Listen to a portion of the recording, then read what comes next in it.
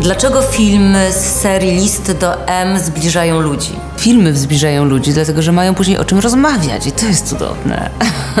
Zbliżamy się zawsze do siebie na romantycznych historiach. Ciepło zbliża w listach do M. To ciepło, które bije z ekranu. A List do M najlepiej zobaczyć w kinie. I zawsze ktoś siedzi obok ciebie. Nie znajdziesz seansu, w którym będzie pół pustej sali. Bo na przykład pójdzie się do kina alone, siedzi się, ogląda się ten film i człowiekowi się robi tak jakoś przykro, smutno albo wesoło właśnie, to na przykład właśnie może tak, tak się przytulić do kogoś, złapać kogoś w jakimś dramatycznym momencie za kolano, razem wyjść, potem na kolację. No wiesz, że w Wigilię wszystko może się zdarzyć. Y, Na przykład w czasie filmu może ktoś sobie kupił popcorn, nie wiem.